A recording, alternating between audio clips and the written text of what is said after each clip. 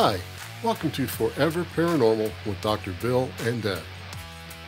The term paranormal refers to phenomena and experiences that are beyond the scope of normal scientific understanding and cannot be easily explained through traditional scientific principles. These phenomena often challenge conventional beliefs and are associated with the supernatural, metaphysical, or unexplained aspects of reality. As with any field of inquiry, it is essential to approach the paranormal with an open but critical mind, relying on empirical evidence and logical reasoning to draw conclusions. It's a topic that continues to intrigue and challenge both believers and skeptics alike, and if we can connect a paranormal element to it, we'll talk about it. You'll be surprised by what all can be connected to the paranormal. Please don't forget to follow, rate, and share the show, since it would not be possible without you, our listeners. And as a public service, we would like to let everyone know that you are truly never alone, even if you think you are. The Suicide and Crisis Lifeline is 988. Please just reach out. Well, hello there and welcome. This week we are going to discuss a pretty bizarre death that of Christopher Case, the man purportedly killed by a witch's curse. Hi there, Deb. You're looking pretty sunshiny this week. Hi. What does sunshiny work look like? Uh, nice, happy, pretty, you know, those Okay. kind of things. Guess. Thank you. You're welcome. You know, it's hard to believe that we are at the end of July already. Yeah. Yeah. Stinks. August starts tomorrow, and soon the weather will be making that swing to cooler days. And what does this all mean? We're getting that much closer to Halloween. Oh Halloween. boy, here we go. Yeah, I know that's probably a downer for you, but hey, you know. As long as you're happy. yeah. So, were you able to find us anything interesting this week? Well, yeah. Um, are you ready? Yeah. Okay. I have a hypothetical question for discussion. Okay. If you had to prove you were human and not AI in a text conversation, how would you do it? Well, that's a really good hypothetical question, let me tell you. But I have a question for you before I can answer the question. Okay. Do I know the person that's texted me, or do I know the number that's texted me, or do I not know the person or not know the number? Well, let's say let's say that you receive a text from an, a new phone number you don't recognize, but it says this is so and so, a name you do recognize, Okay. and this is my new phone number. So you reply, and, and how do you determine if that is really the person that you they say they are? Okay. Well, I think one of the first things that I would do, I would say, Oh, okay.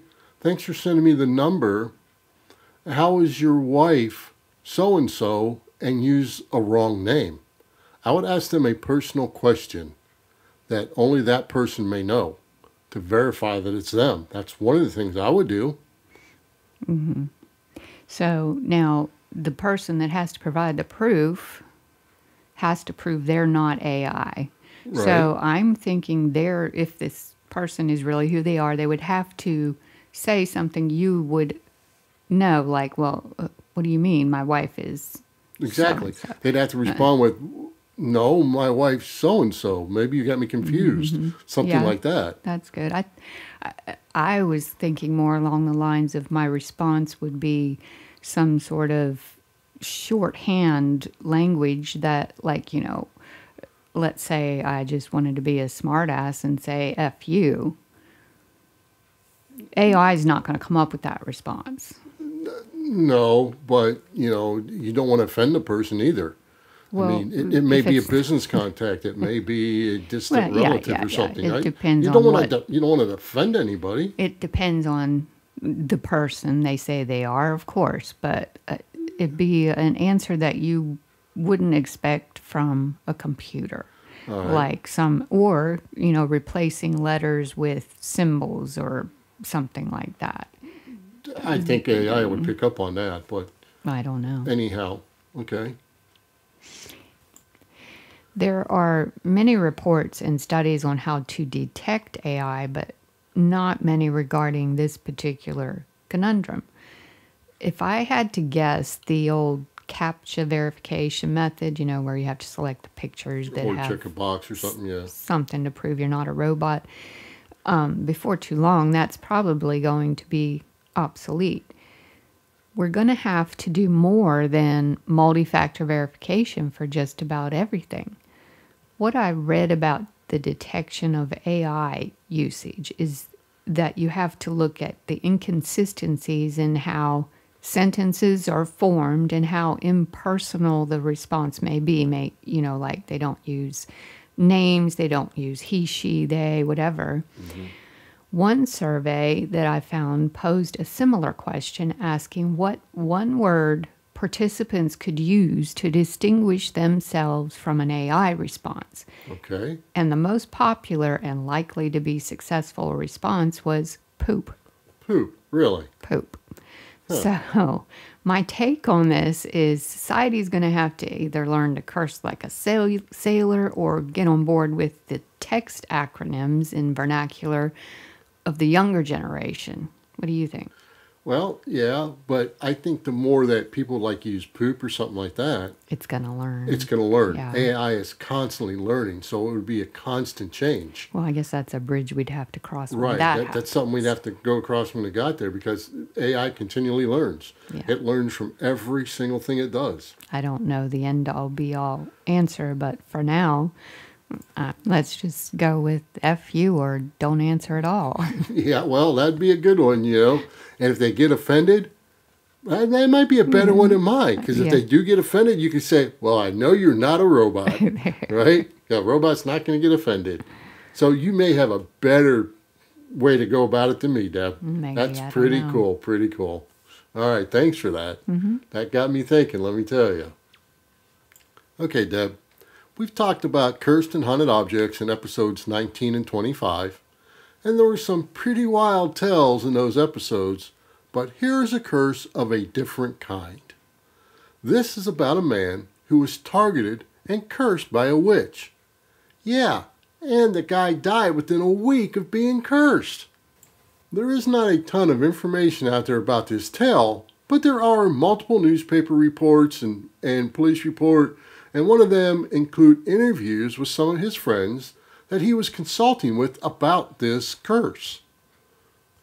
We, of course, are talking about the infamous tale of Christopher Robert Case, the man who was killed by a witch's curse in April of 1991.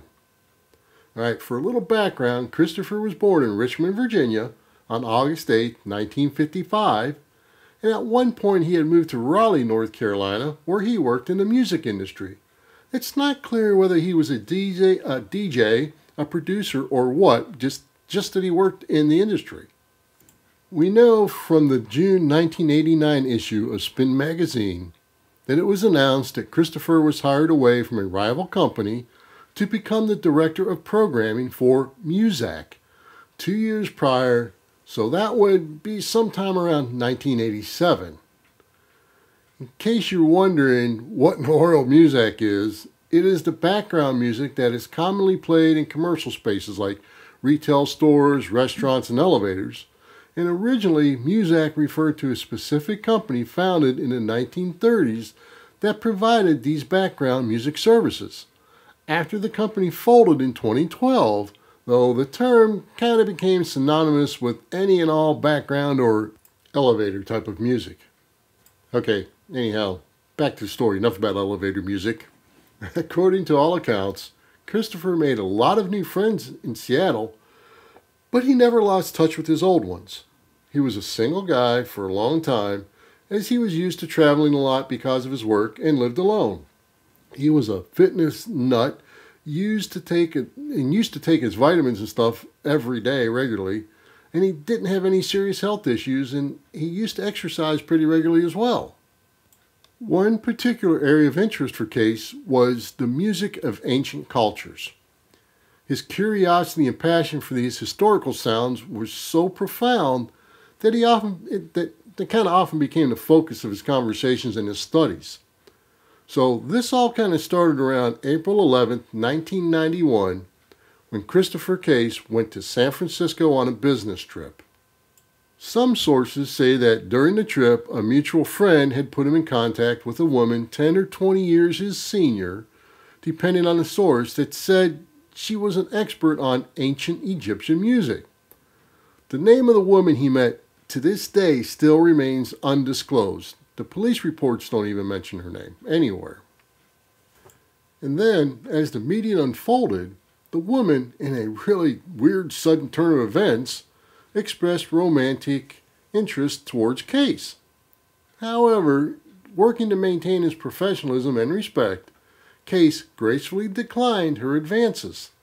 The woman was seemingly enraged by his rejection and began ranting and screaming.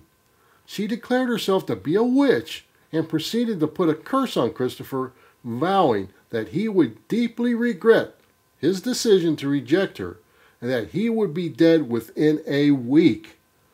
Christopher didn't take this seriously at all, as he didn't believe in any supernatural things. He just kind of went back to his home in Seattle and the next morning forgot all about the incident. On April 14th, Case called his friend Sammy Sounder and another unnamed friend in Fayetteville, North Carolina, and told her he wasn't able to sleep at night because he was hearing strange whispers and footsteps. He told her he felt like someone was watching him because he was seeing shadows moving around his apartment. She supposedly advised him at this point to go get help. I mean, yeah, why tell someone across the country? Why not go get local help? Well, some of the background I found out about Sammy was she was supposedly a psychic type of somewhat medium and into the esoteric and the metaphysical. So he called her because he thought she might be able to give him some help. And I think she did tell him to go get local help, you know. But well, I think we'll find that out here as we go. But I thought he didn't believe in any of that. He didn't until this started happening and he talked to her. I see right? When things start happening, your beliefs start to change, right? So, anyhow, let's move on because then on the morning of April 16th, he again called Sammy to tell her how he got attacked last night when he was sleeping. He told her that someone was trying to suffocate him by unseen hands, and when he woke up in the morning, he also noticed some cuts on his fingers and blood stains around his bed sheets. I guess at this point you start to believe in something, right? Maybe. Yeah. That morning, he went to a religious bookstore and picked up a handful of crucifixes. And after being asked by the store manager what in the world he needed all those for, he told him that he was being attacked by some supernatural powers. Purportedly, the store manager handed him some other religious books and a few rosaries and some books on witchcraft and stuff and said that would help him. And then on the afternoon of the 16th, he placed the crucifixes all around his home with candles and poured salt on all the entries and also wrote notes on how to overcome supernatural powers that were scattered all over the place. I think from one of the reports I read, he poured salt around the whole perimeter of the apartment. Everything was, was in heavy in salt. And even after that, on the evening of the 16th, something strange happened, which is not clear, but he was so frightened that he left his home to stay in a hotel that night. Sammy, being unable to contact Christopher that night, called the local Seattle police to do a welfare checkup on him. Police found the residence locked and were unable to gain access. So they reported back to the station and they just went on about their business. Wait, so if doing a welfare check, why did they just leave? Why didn't they try to gain access? I think they looked around, saw nothing suspicious, no smell, no this, no that, no noise coming, so they just left. Kind of like when we had a neighbor one time that was very old and they did some welfare checks on her a few times when she wasn't there. Mm-hmm. You remember, they just kind of looked around the house, didn't check things, and just left. I mean, they didn't go in the house or anything. Are they not allowed to? I, I have no idea. I don't, I don't know anything about that, and I don't want to know anything about the cops. Okay. So, hey. Then, on the morning of the 17th, Sammy received a message on her answering machine from Christopher stating that he had come dangerously close to being caught and that this was his final day on earth. This news wasn't just heard by Sammy, but also by a Catholic priest and the religious bookstore manager. That seems pretty wild. So he called three people? No, I guess he talked to those people. Uh-huh. He he called her, left a voicemail. He again talked to the a priest, and he again talked to the store manager. Thought this would be his last day. Okay. Okay. Then on the 18th, Sammy called the police again for another welfare check, and upon arriving, this time they found the door unlocked. So therefore, I think they were allowed to go in, right? So here's what was originally reported in the Seattle Times. Prompted by information from a Fayetteville, North Carolina woman who told police the man felt his life was in jeopardy after a woman had put a curse on him, King County Police found the body of Christopher Case, 35, in an empty bathtub lined by completely burnt down candles in his apartment in the 1300 block of North 152nd Street, shortly after 4 p.m. Thursday. There was no evidence of foul play, but the presence of several crucifixes and piles of kosher salt throughout the apartment have baffled investigators. King County Police Major Jackson Beard said the salt, candles, and other objects found at the scene have some significance in self protection against demons or evil forces. In his apartment, there was a book called Strange Customs that explains that the salt is a devil repellent. Well, apparently, the police found lines of salt poured along the base of the walls throughout the apartment with piles at the corners. The same thing was done on the porch where the salt was poured in a geometric design and crucifixes were hung on all the walls. I'm assuming the geomet- uh, geometric design was a pentagram of some sort, but it doesn't really say that. That's just my assumption. And the police officer goes on to say, It's pretty clear he thought something was going on, said Beard of the deceased man. However, Beard said the crime scene doesn't suggest that someone came in and did something to him. Beard then went on to say that the police will know more when tests are done to determine if there was any toxic substances in his bloodstream, and that will take at least two weeks. At this point, this is a very suspicious death, something that needs to be explained, said Beard, who is commander of the King County Police North Precinct. I don't believe there was any foul play. Obviously, though, I'd like to know what the toxicology report says. This could be a suicide, a natural death, or there could be something else going on here. There's also some evidence that Case was seeking psychic help to ward off the curse. I guess that's by the books and stuff. Then in May of 1991, Seattle Times did a follow up on the story and went on to say the death of Christopher Case, 35, had drawn wide interest because he had told friends he feared he was under a witch's curse. The cause of death was acute myocarditis, said Richard Garner, a medical investigator with the King County Medical Examiner's Office.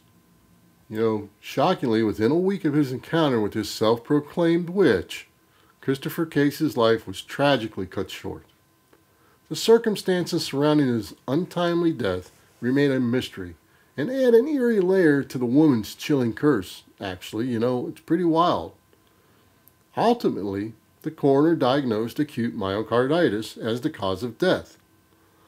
For those who might suggest that he scared himself to death due to some advanced psychological distress, that would be an extremely rare and unprecedented occurrence in a young, healthy man with no pre existing conditions.